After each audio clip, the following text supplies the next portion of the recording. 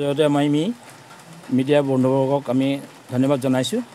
আমাৰ প্ৰতিকূল বতৰকো নেওচি আহি আমাৰ মাজত উপস্থিত হৈ আমাৰ এই অনুষ্ঠানত সফল ৰূপায়ণৰ ক্ষেত্ৰত যি অৱদান আগবঢ়াইছে আমি তেখেতসকলে ধন্যবাদ জনাইছোঁ।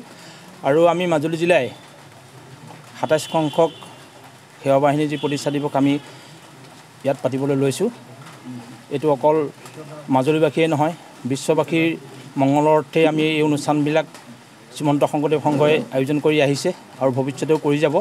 সেয়েহে আমি উঠি অহা প্ৰজন্মক যাতে আমি সু ৰাস্তা এটা পৰিকল্পিতভাৱে আমি তেখেতসকলক দিব পাৰোঁ।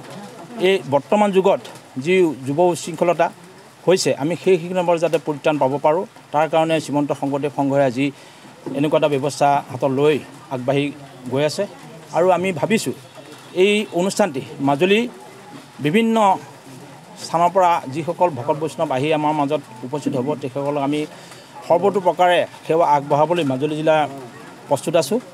আৰু মাজুলী জিলাৰ যিসকল ভকত বৈষ্ণৱ আছে সেইসকলে আৰ্থিকভাৱে হওক বিভিন্ন যোগেদি আমাক সহায় সহযোগিতা আগবঢ়াইছে।